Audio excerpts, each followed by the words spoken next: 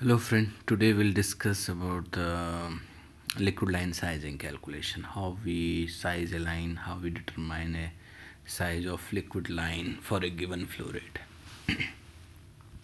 Let's say we need to calculate the size of a pipeline to carry a liquid flow rate of uh, uh, 100 meter cube per hour. So let's say this is our fluid required fluid. And let's say it's a water so density is 1000 kg per meter cube. Okay?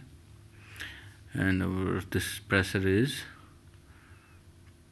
P1 is inlet pressure. Let's say inlet pressure is 10 bar. And P2 is outlet pressure which is this one.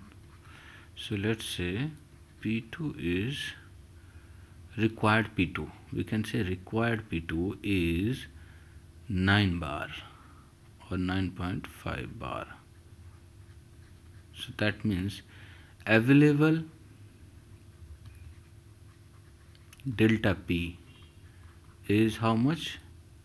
10 minus 9.5 bar. 0.5 bar means we are allowed to drop only 0.5 bar pressure drop due to friction in a pipeline. So we have to select the pipe size line size by doing the calculation in such a way that the pressure drop should not go beyond 0.5 bar in entire length of the given pipeline.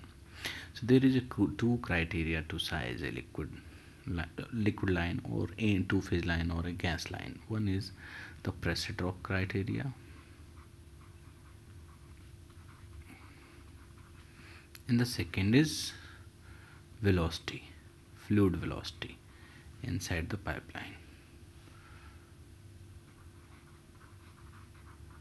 So which we limit normally between um, uh, 1.5 to around 4.5 meter per second for a continuous flow so we uh, normally if we use this formula like say q equal to va so we can roughly estimate a first we need to use this formula to roughly estimate a pi uh, line size. So q is our 100 meter cube per hour we have to convert into seconds so we will divide it 3600 so it becomes meter cube per second equal to v into a. Now we have to roughly size uh, uh, get the line size first. So let's say we take velocity 2.5 meter per second. And a is uh, this one. So this is 2.5 multiplied by we can do it pi by 4 into d square. So this is 1 upon 36 here so uh, so you can do like this. So d square equal to 4 upon 36 uh, into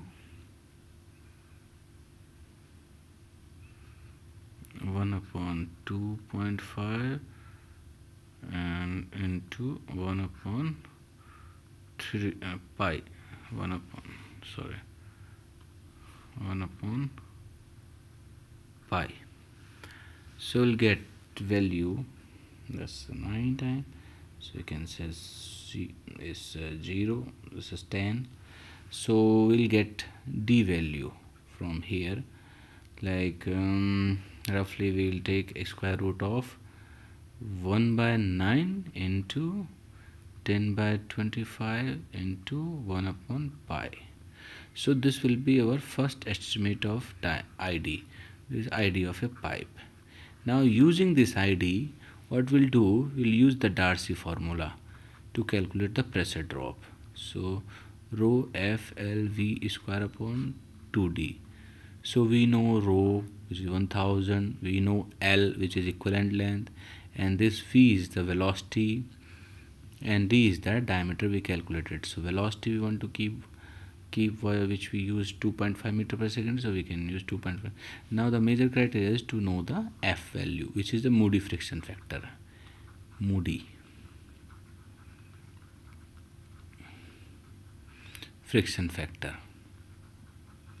So if our Reynolds number we will calculate the Reynolds number rho vd by mu. If it's less than 2000 that means it's a laminar flows then at that time uh, this f is 64 by nre Reynolds number. So we can get directly friction factor.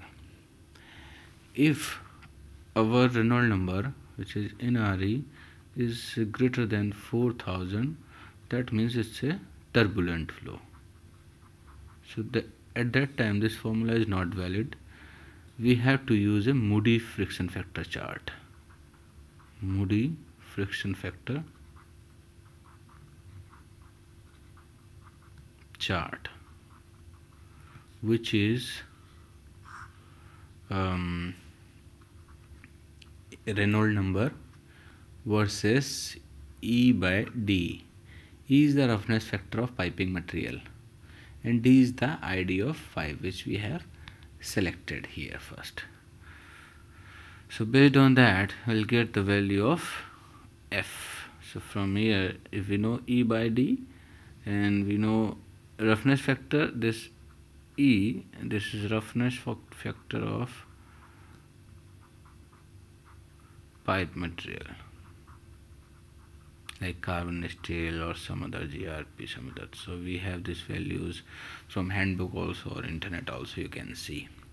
And d we assume already which is this one. And then and this nre also can calculate by using this formula. So then once we got this value the friction factor so we'll calculate the delta p. If our delta p is less than 0.5 bar which is allowable that means our selected size which we assumed here um, by this one which we calculate this one is okay.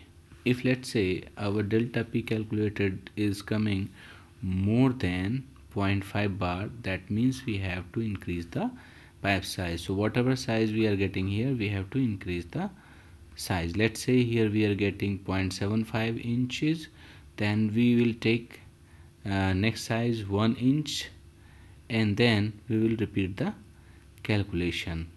Till our delta P is less than allowable delta P across a pipeline.